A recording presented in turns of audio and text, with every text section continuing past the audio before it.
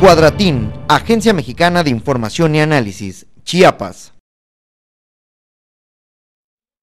Decenas de integrantes del Foro Cívico México Laico se sumaron esta tarde-noche a la protesta para la aprobación de 25 iniciativas de ley, así como el endeudamiento de 5 mil millones de pesos. La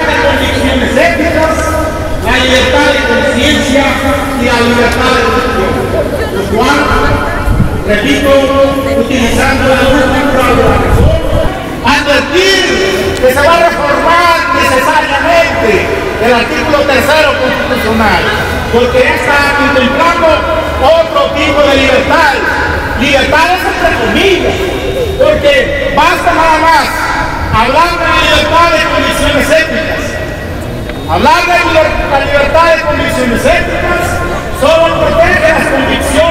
El Estado tendrá que definir qué convicciones son éticas, pero al hacerlo se convertirá en juez de las convicciones personales. Por ejemplo, no es lo mismo libertad de prensa que libertad de prensa ética, porque esta última pone en manos del Estado la calificación de la prensa. Lo mismo sucederá en el caso de las convicciones éticas.